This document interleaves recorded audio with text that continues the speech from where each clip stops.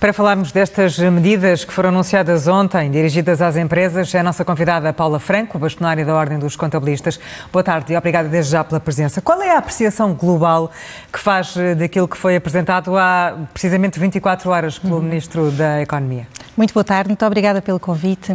Bom, eu diria que não tenho dúvidas que existe um esforço do Governo para tentar corresponder àquilo que são as expectativas das empresas, mas eh, sem dúvida que este pacote de medidas ficou muito aquém daquilo que era a, a, confiança que se precisava, o sinal que as empresas precisavam de que neste período que se avizinha cada vez mais difícil, que iam ter aqui um apoio eh, e, uma, e podiam contar com o Governo. Acho que falhou um pouco isso, embora tenha sido dito na própria conferência de imprensa que o próprio Orçamento de Estado para 2023 já iria contemplar outras medidas. Portanto, se em conjunto com as duas vier responder, já uh, poderemos estar a falar de situações diferentes. Neste momento, este pacote não Ou seja, responde para já não chega, mas há alguma esperança naquilo que ainda possa vir uh, contemplado foi dito, no Orçamento do Estado. Exatamente, foi dito precisamente na conferência de imprensa, se calhar porque também se tem essa ideia de que este pacote não será suficiente. Este pacote, no fundo, o que é que ele veio? Veio alargar algumas das medidas que já existiam e que eram necessárias, por exemplo, para os transportes de mercadorias, para o gás, para o apoio à gás, para quem tem um uso intensivo de gás, e que era necessário haver essa prorrogação. Portanto, ela já era um bocadinho expectável. Medidas novas, medidas que tenham muito impacto. Uh, temos aquela linha dos 600 milhões, que tem a ver com financiamento, endividamento das empresas e, portanto... Não é, não é verdadeiramente considerado um apoio? Não é um apoio, não é um apoio, é preciso ter muito cuidado, porque eu preciso que as empresas precisem de algum dinheiro, alguma tesouraria para fazer face a estas situações mais adversas, mas temos que pensar que o endividamento não deve ser para estas situações de custos correntes e de situações anormais. Tivemos a pandemia em que aconteceu a mesma coisa, existiram linhas de crédito, mas depois as linhas de crédito têm que ser pagas. E estamos também num período em que se avizinha também uma subida das taxas de juros. Portanto, tem que ser usado e esse uma apoio. no consumo? E uma, exatamente, e uma retração.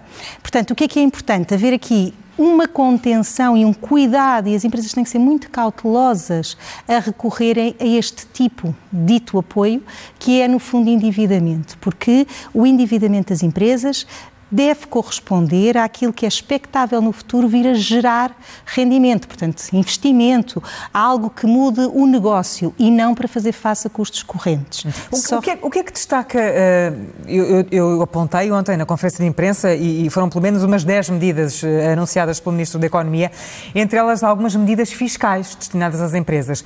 Elas são significativas? Não, as medidas fiscais são muito poucas. Aliás, só tem aquela questão dos 20% uh, da majoração de IRC e depois ali uma redução do ISP.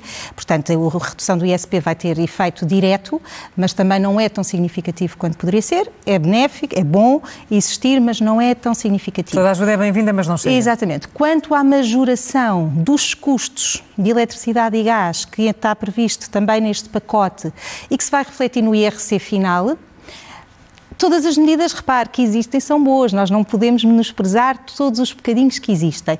Agora, isso, isso só se vai refletir nas empresas no próximo ano, em 2023, em maio, quando as empresas forem pagar o IRC, e só se reflete para as empresas que tiverem lucros. Portanto, para as empresas que realmente fiquem mais prejudicadas, com mais, que seja mais acentuado todos estes fatores externos que estão, que estão a agravar e a aumentar os seus custos, podem nem sequer ter lucros e, portanto, nem são afetadas. Pois há uma questão que é, o momento é agora, este pacote era para agora. Não era um pacote para ter um efeito daqui a quase, não é um ano, mas quase, não é? Portanto, maio de 2023 ainda falta muito tempo. Está, por exemplo, este mês a decorrer o pagamento, o pagamento por conta, que é a antecipação desse imposto, e aqui sim já podia ter existido uma medida de diminuir essa antecipação de imposto, porque aquilo que sentimos eh, e, e, que os contabilistas certificados sentem é que há uma grande dificuldade das empresas em fazer face a estes pagamentos por conta. Em cumprir os que pagamentos. já foi em cumprir, que foi em julho e agosto o primeiro e que está agora a decorrer o segundo e que são obrigatórios. Hum. E que já deviam antecipar essa redução de IRC. O que é que, na perspectiva do, dos contabilistas, fazia sentido para ajudar agora as empresas neste momento e que é agora que precisam, uh, tal como claro. está a referir? Eu acho que uh, nem todos os apoios, vamos lá ver, nós contabilistas fixamos-nos mais em contas, dinheiro, gastos e, portanto, o que as empresas precisam é uma ajuda na diminuição dos seus gastos que aumentaram desmesuradamente em algumas áreas. Mas uh, admite-se que, efetivamente, nem todos os apoios possam ser financeiros. Há também um, um papel muito importante do Estado a fazer fazer na ajuda, por exemplo, nas dificuldades que as empresas têm em ter fatores produtivos nas tais cadeias de abastecimento que estão a falhar em todo, a todos os níveis, em todas as atividades. E aí pode haver uma diplomacia económica que consiga ajudar as empresas a terem acesso a bens que neste momento não conseguem ter para dar continuidade aos seus serviços e, e à produção que têm que, que fazer. Portanto, há e, muito que outra mais. medida é que podia uh, ser uma ajuda? Por exemplo, alargamento de prazos uh, para pagamento de, das obrigações fiscais, como aquela que deu o exemplo no agora? No pagamento por conta, exatamente. O pagamento por conta acho que podia ter havido aqui uma medida de redução do valor, porque ele teve como base o apuramento do lucro do ano passado e com este agravamento dos custos, o lucro deste ano provavelmente vai estar afetado por uh, todos os aumentos dos custos, o que vai diminuir o lucro. Portanto, poderia ter havido aqui uma, um ajustamento do pagamento por conta já para antecipar. E esse era momentâneo. Era agora, era este mês que as empresas sentiam isso.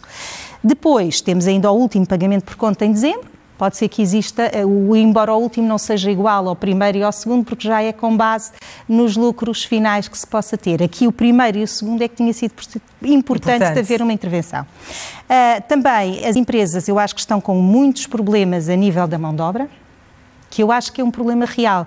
Nós falamos muito no aumento dos custos energéticos e nas preocupações que as empresas têm neste nível, mas as empresas também estão com outras dificuldades, que é preciso haver uma intervenção direta e que as medidas e estes pacotes também deveriam servir para isso.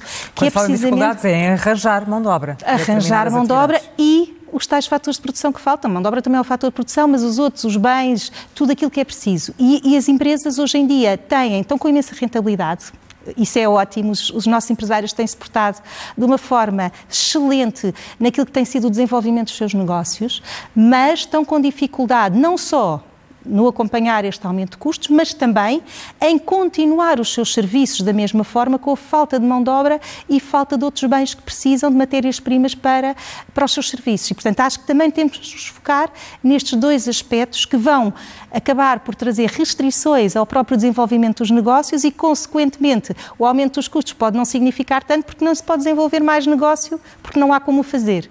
E acho que estes é, são dois pontos muito importantes que acho que o governo tem que se focar e que tem que arranjar alternativas. Para reter talento aqui em Portugal, Acho que é importante, por exemplo, os jovens, reter uh, formas também de fazer face àquilo que vai ser necessário, que é aumentar salários e como é que se pode ajudar nesse aspecto para realmente as empresas poderem contar com mais mão de obra e também, claro, trazer mais uh, mão de obra estrangeira para Portugal para fazer face às necessidades que temos. Portanto, há aqui uma série de medidas que podem ser tomadas, podem não significar só dinheiro, podem significar uh, sinais, lá está a tal diplomacia económica que falo, em ajudar nas cadeias de abastecimento, em ajudar na retenção de talento em Portugal e trazer mão de obra podem, podem ser, ser muito significativas e que se calhar aumentando o negócio, este aumento de custos, embora seja significativo, vai estar mitigado pelo aumento da rentabilidade das empresas, porque de facto é um fator que está a acontecer, as empresas estão a produzir, estão a ganhar escala e isso é muito importante manter-se. Vamos ter que esperar eh, por eh, outubro para saber se há mais medidas no Orçamento de Estado para 2023. Paula Franco, muito obrigada pela obrigada. presença na edição da tarde da SIC Notícias.